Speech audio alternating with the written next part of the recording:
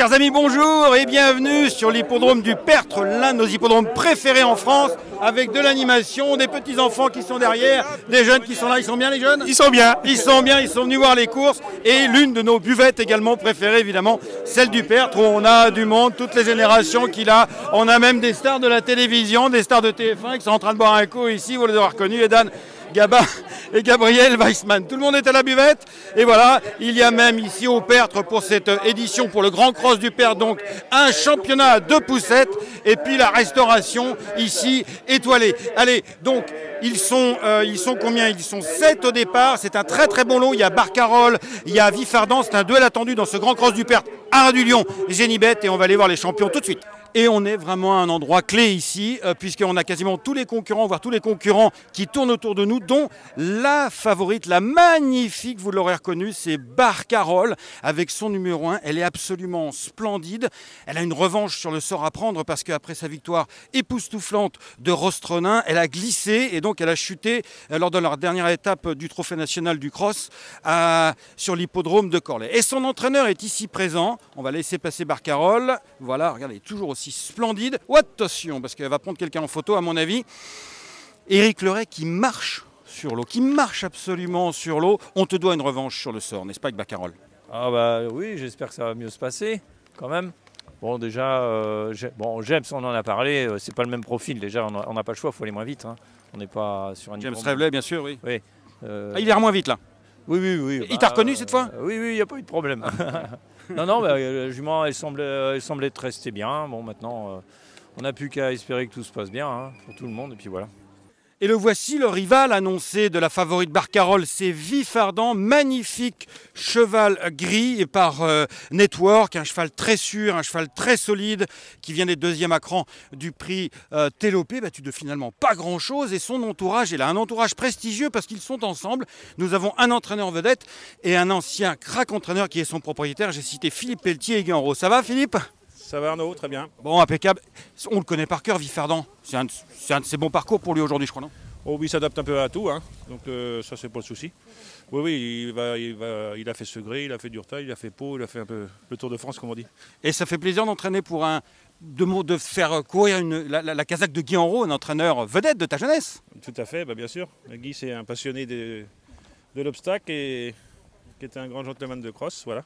Et il a toujours aimé avoir un cheval de cross. Et qui fait semblant de s'échapper, Philippe, derrière ton dos, Guy. Ah bah, il va pas nous échapper, Guy Enro, entraîneur X fois leader du, du plat dans le Grand Ouest. Aujourd'hui, qu'est-ce qui vous a fait reprendre votre casaque pour avoir un cheval de, de, de cross C'était pas votre discipline. Je ne l'ai pas reprise, je l'ai toujours eu. Et j'ai toujours eu des chevaux de cross. J'en ai eu un en 1980, mon premier, 87-88, qui était entraîné par François Rowe, qui a été deux fois second du Grand Cross de Pau. Non, j'aime bien cette discipline, voilà. C'est amusant et ça me plaît. Et voici les hommes en habit de lumière. En tout premier lieu, voici Thomas Borin qui va rentrer dans le rond de présentation pour se mettre en selle sur Vifardant et qui porte l'une des deux GoPro magiques qui a fait tant de vainqueurs. Et voici Gabriel Weissman qui allume la GoPro pour vous faire vivre. Et c'est Corentin Spelders qui vous avait fait vivre la, GoPro de, Saint-Pierre-la-Cour euh, avant-hier. Merci beaucoup Thomas.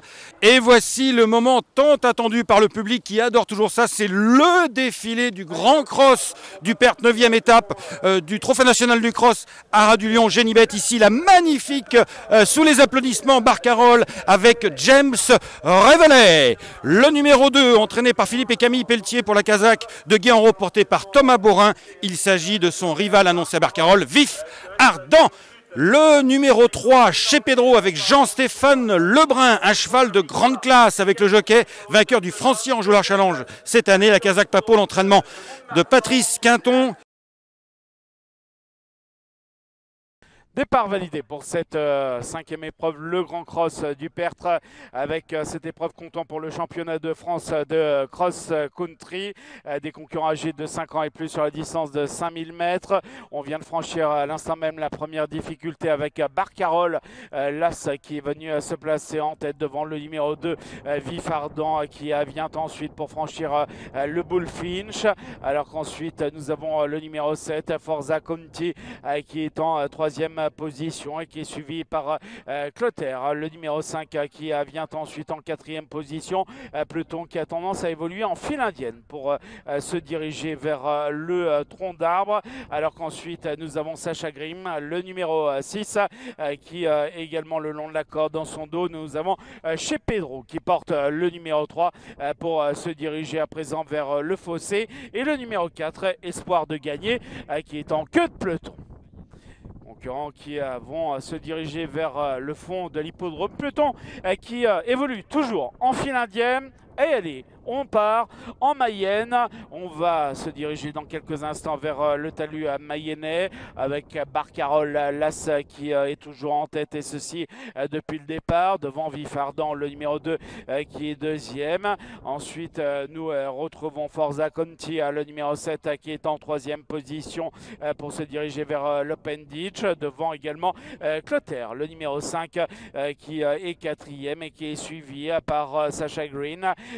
Numéro 6 qui euh, vient ensuite devant euh, le numéro 3 chez Pedro euh, qui est également le long de la corde et qui se décale à présent à l'extérieur. Et ensuite nous avons espoir de gagner le numéro 4 qui est en queue de peloton. Allez, on revient en Bretagne. On va se diriger maintenant euh, vers euh, le talus euh, breton. C'est toujours Barcarol, Lassa qui contrôle les opérations. Peloton qui a tendance maintenant à se regrouper. Alors qu'ensuite, nous retrouvons en deuxième position Vifardan, le numéro 2 pour franchir le fence. Devant également Forza Conti, le numéro 7 qui est en troisième position. Ensuite, nous avons Clotaire, le 5 devant chez Pedro, le numéro 3 suivi par Sacha Green, le numéro 6, euh, devant euh, le numéro 4, Espoir euh, de gagner, qui est en queue pour franchir le Brook.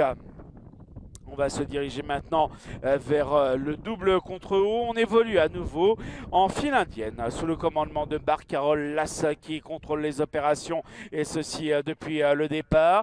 Vifardan vient ensuite en deuxième position pour se diriger vers le fond de l'hippodrome. Forza Conti, le numéro 7, est en troisième position et également le long de la corde. Devant un peu plus loin, Clotaire, le numéro 5, qui est quatrième pour franchir le double contrebas à l'instant même. Alors qu'ensuite, euh, nous retrouvons le numéro 3 euh, chez Pedro euh, qui est suivi également par le numéro 6 Sacha Green qui vient ensuite. Et en queue de peloton, nous avons le numéro 4 Espoir de gagner. On vient de franchir la rivière. On se dirige maintenant vers le tronc d'arbre. On, évolue toujours en file indienne. C'est toujours Barcarol Lassa qui contrôle les euh, opérations pour euh, se diriger maintenant eh bien, vers euh, le tournant. On va franchir la banquette et le fossé. Ensuite, nous avons Vifardan, le numéro 2 qui est deuxième, suivi par Forza Conti, le numéro 7 qui vient ensuite en troisième position. Le numéro 3 chez Pedro et le long de la corde est suivi par Clotaire. Le numéro 5 qui est à son extérieur devant Sacha Green. Le numéro 6 et un peu plus loin le numéro 4, Espoir de gagner. Nous sommes en Mayenne. On va se diriger vers euh, le talus euh, mayennais.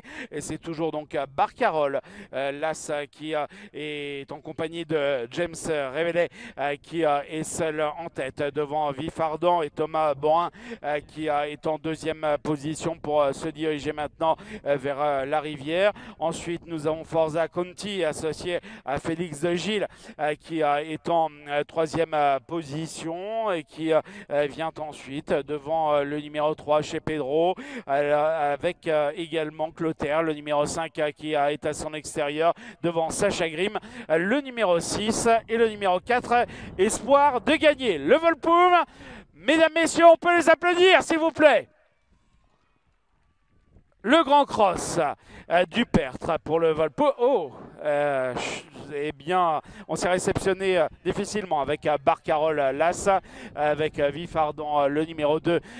Tous deux sont ensemble devant le numéro 7 Forza Conti qui est troisième. Ensuite, nous avons chez Pedro le numéro 3 qui est en quatrième position pour se diriger maintenant vers le double contre haut devant Sacha Green, le numéro 6 qui vient ensuite, qui est suivi par Espoir de gagner accompagner le numéro 4, les concurrents qui sont donc dans le fond euh, de euh, euh, l'hippodrome. On va se diriger dans quelques secondes vers le double contrebas avec en tête l'As Barcarole qui est, à nouveau seul aux avant-postes suivi par Vifardant le numéro 2 qui est deuxième. Ensuite nous avons Forza Conti pour se diriger maintenant vers la rivière qui est en compagnie également le long de la corde chez Pedro le numéro numéro 3 et qui est en quatrième position, suivi par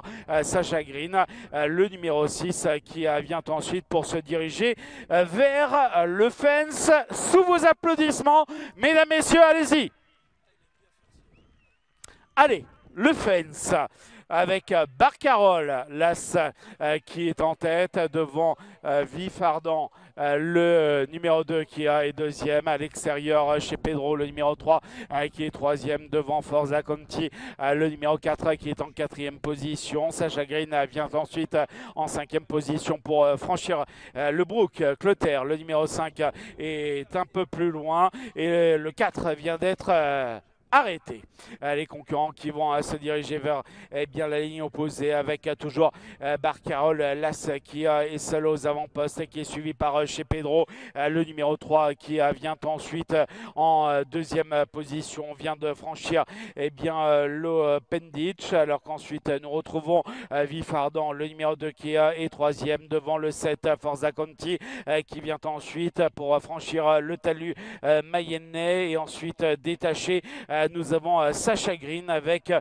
également euh, Clotaire, le numéro 5. Les concurrents qui vont se diriger maintenant vers le tournant et le contre-haut et contre-bas avec le numéro 3 chez Pedro qui est venu se placer en tête. On poursuit son effort avec Vifardant, le numéro 2 qui est à l'extérieur devant Barcarol, Lassa qui est troisième. On vient de sortir à l'instant même du tournant. Il leur reste à présent une haie à franchir avec chez Pedro euh, qui va être attaqué à l'extérieur euh, par le 2 à Vifardant qui vient ensuite avec Barcarol euh, qui est côté comme nous sommes sur le plat avec à l'extérieur Vifardant le numéro 2 qui prend le meilleur devant chez Pedro qui est deuxième hélas Barcarol. C'est le numéro 2 Vifardant qui remporte l'épreuve devant le numéro 3 chez Pedro qui terminera deuxième. Las Barcarol et il s'est imposé avec la GoPro Magique qui a frappé une fois de plus c'est Thomas Borin en selle sur Tu nous as fait plaisir. Quelle belle montre, patiente mais tout près Thomas. Ouais, bah fallait, je savais que Barcarol allait mettre du rythme.